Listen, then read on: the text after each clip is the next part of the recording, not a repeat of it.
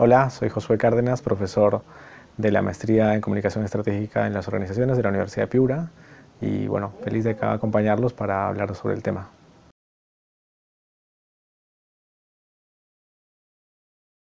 Todo lo que son las estrategias de, contenido es un ámbito fundamental en las estrategias de comunicación de una, marca.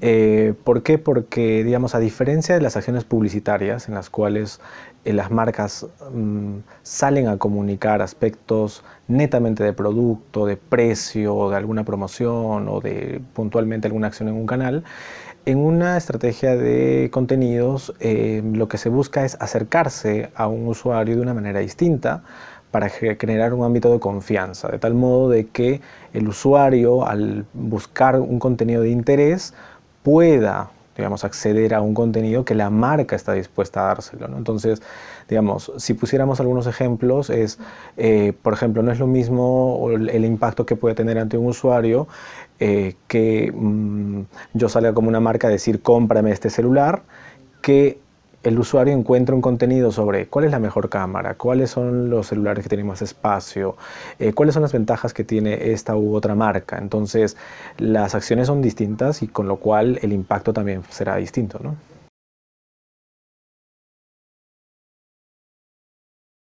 Lo del storytelling en realidad no es algo tan nuevo, quizá algo que las marcas están empezando a tocar, digamos, será novedad para algunas marcas, pero en general todo lo que es el storytelling es algo que es muy antiguo, es decir, el contar historias, el ir a, impactar a un usuario eh, atrás de, contar algo, tiene, tiene mucho tiempo. ¿no?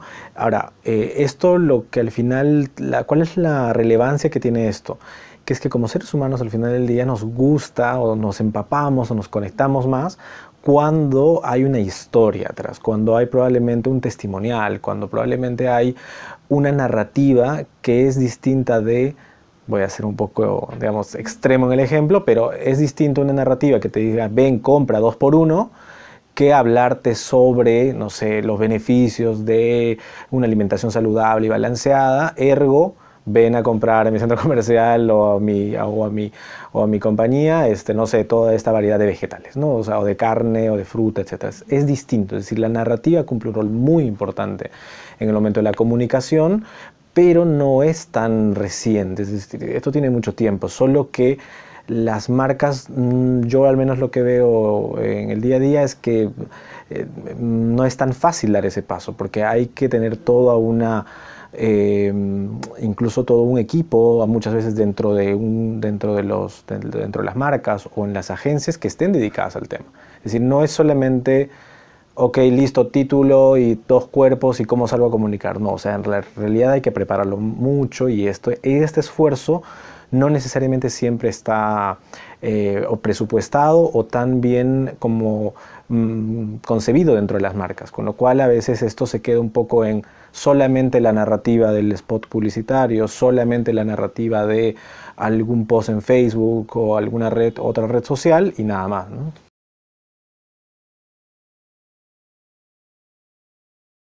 Sí, de hecho, eh, digamos, una de las cosas positivas que traen las redes sociales justamente es este espacio de contacto directo que tienen las marcas con sus usuarios, con lo cual las marcas que han sabido trabajar muy bien esto Em, digamos, no tienen incluso dificultad en adentrarse en temas que hasta podrían ser medios polémicos o que podrían ser de repente eh, complicados de abordar. Es decir, eh, por ejemplo, mm, ¿qué está alrededor de, por ejemplo, una marca que vende muebles y que de repente su storytelling o su estrategia de comunicación eh, está pues dirigida, por ejemplo, a personas que tienen discapacidad? O sea, esto, por ejemplo, lleva a que los usuarios de repente tengan esa comunicación con la marca, participen en estos procesos de la, narrativa alrededor de, un producto. Y hay casos, digamos, bastante aleccionadores, sobre todo a nivel global, en la que se ven, por ejemplo, marcas tipo Tommy, que hace unas campañas publicitarias en función de, por ejemplo, solamente personas de poblaciones vulnerables, ¿no? o personas con síndrome Down, o personas con discapacidad, y en el cual el storytelling que acompaña eso, es decir, esta marca está hecha para todos, todos, todos. Y luego el story doing que se invita a hacer también lleva esa, a esa capacidad de darle al usuario esa, esa, acción cerca de las marcas. ¿no? De esto hay muchos ejemplos eh, cada vez más felizmente.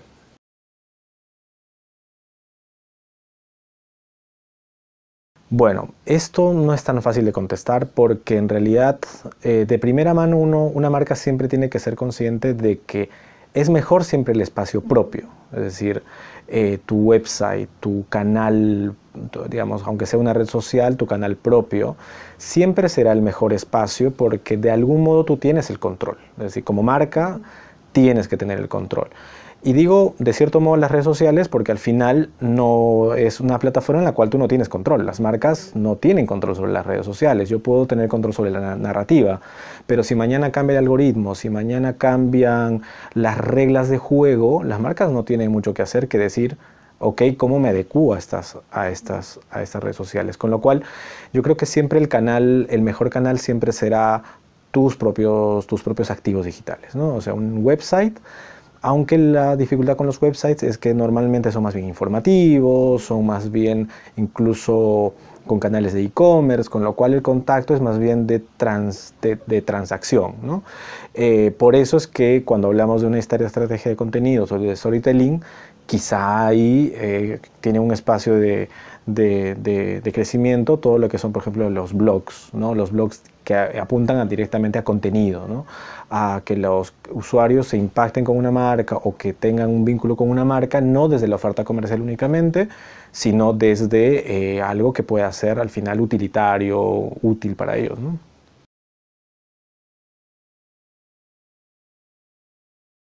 Bueno, a nivel local hay también varios ejemplos. De hecho, hay marcas globales que en sus alineamientos de comunicación eh, utilizan eh, esta capacidad, por ejemplo, de hablar del empoderamiento de la mujer, ¿no?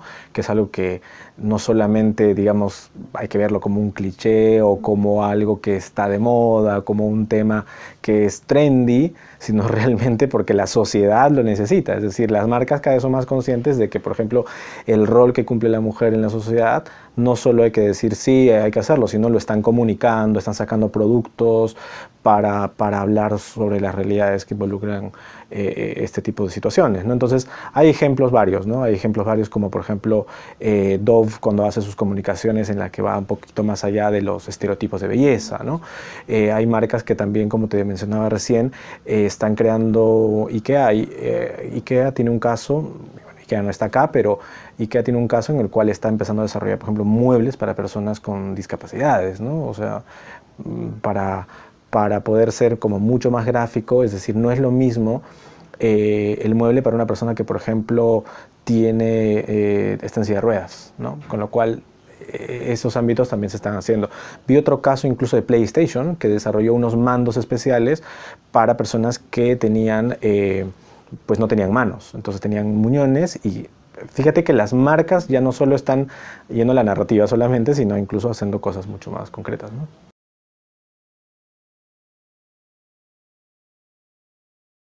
Yo creo que lamentablemente hay muchas cosas que son de tendencia, en general en todo. Es decir, eh, por ejemplo, estos temas que están vinculados, por ejemplo, al empoderamiento de la mujer. O sea, en temas de poblaciones vulnerables, en temas de... Cierto, hay, muchas, hay muchas compañías que a veces se suman a las olas y no creen necesariamente en estas coyunturas. Porque si realmente, por ejemplo, eh, tú o como compañía o los, o los eh, dueños de las, las marcas consideran o realmente mm, valoran algo, son más consecuentes y van un poco más allá de solo una mención y de repente sacar productos específicos para cosas de este tipo.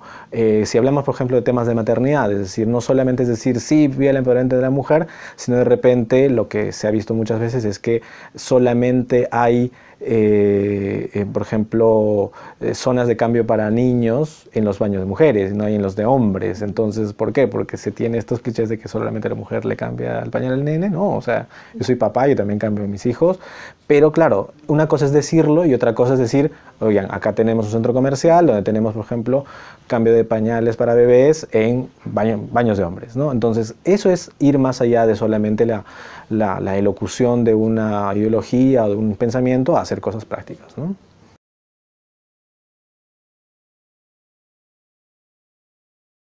Bueno, yo creo que eh, eh, siempre hay que analizar a quién nos vamos a dirigir. ¿no? En primer lugar, antes de eh, comenzar a decir cosas, hay que saber bien a quién nos vamos a dirigir.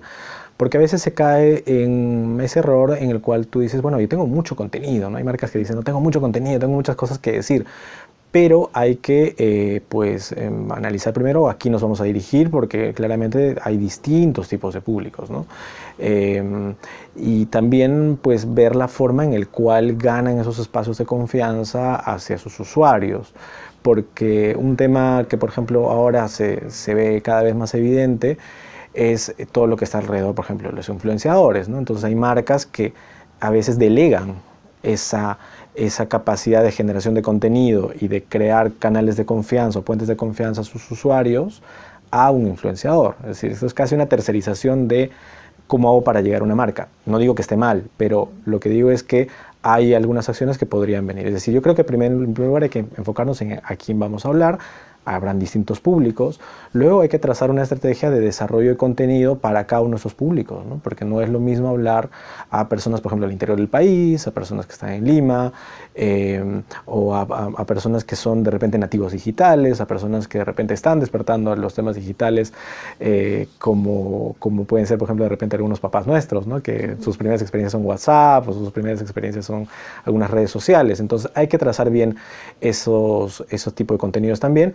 Y yo creo que otra cosa que es muy importante es que hay que eh, tener la capacidad de poder sostener esto en el tiempo, porque si no se, si se traza una estrategia de contenidos, de marketing de contenidos, solo porque es un tema de moda, porque al parecer otras marcas lo están haciendo, y no se cree realmente en lo que esto le puede traer como beneficio a la marca, pues seguramente veremos muchos ejercicios de tener blogs, tener perfiles, tener, tener muchos eh, de, esto, de estas acciones y luego inconclusas, ¿no?